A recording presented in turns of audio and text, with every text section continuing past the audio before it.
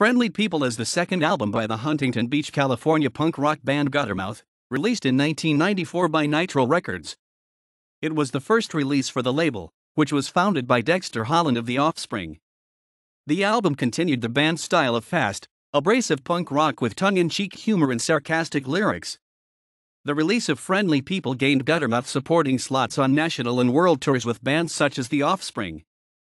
During these tours, the band developed a reputation for chaos and outrageous behavior, resulting in their being banned and blacklisted from several tours and venues.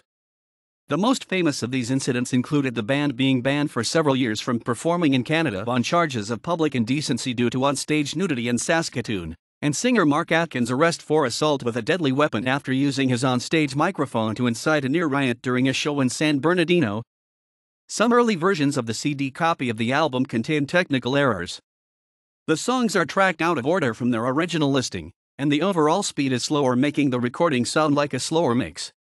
These inconsistencies are due to technical errors at the plant where the CDs were produced.